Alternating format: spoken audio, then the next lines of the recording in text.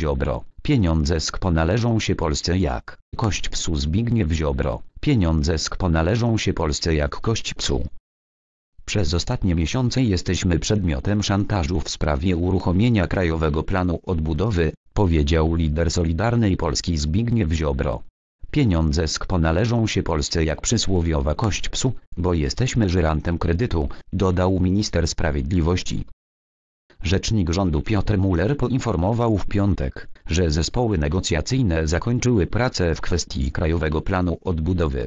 Polska i Komisja Europejska doszły do porozumienia w sprawie kamieni milowych, czyli zobowiązań dotyczących wskazanych w KPO reform. Ziobro w radiu RMFFM został zapytany, czy Polska dostanie pieniądze z Unijnego Funduszu Odbudowy, które mają być wydatkowane w ramach KPO jeszcze przed wprowadzeniem zmian w prawie, w tym formalną likwidacją Izby Dyscyplinarnej Sądu Najwyższego. Stwierdził, że dla do odblokowania KPO Komisji wystarczy akceptacja rządu na uzgodnione kamienie milowe, a nie uchwalenie nowej ustawy. Natomiast na późniejszych etapach, oczywiście, Komisja będzie realizować weryfikację tych kamieni milowych, dodał.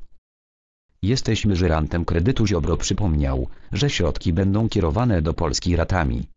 Gdyby się okazało, że Polska nie realizuje tych kamieni milowych, to z tego punktu widzenia komisja, jak rozumiem, chciałaby je blokować, powiedział.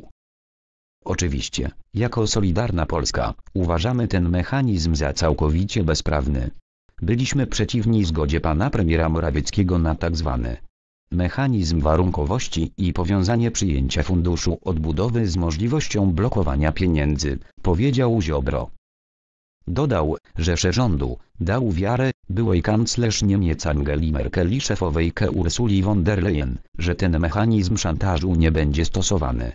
Jesteśmy przecież przez ostatnie miesiące przedmiotem szantażu i dlatego polski rząd w ramach negocjacji zgodził się na parę warunków, które stawia Unia Europejska, powiedział Ziobro. Według niego, pieniądze z KPO należą się Polsce jak przysłowiowa kość psu. Dlatego, że my jesteśmy żyrantem kredytu. Wszystkie państwa Unii Europejskiej żyrują kredyt. Gdyby Polska się nie zgodziła, tych pieniędzy by nie było. Co więcej, my już spłacamy ten kredyt, stwierdził minister.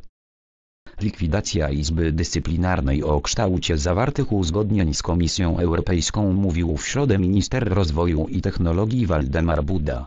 Jak wyjaśnił, strona polska zgodziła się na likwidację Izby Dyscyplinarnej SN i pewną modyfikację zakresu odpowiedzialności dyscyplinarnej. Realizacja tego punktu, jak wskazał, jest przewidziana do końca dwa kwartału bieżącego roku.